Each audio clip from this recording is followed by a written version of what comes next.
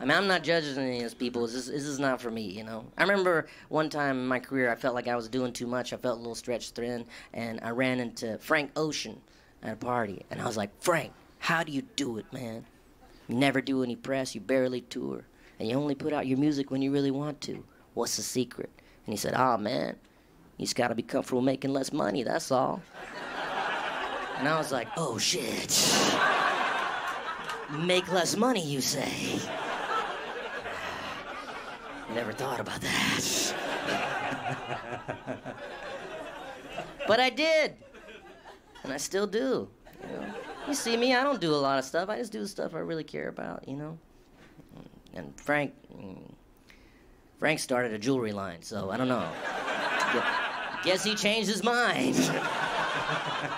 oh shit, I got too comfortable making less money!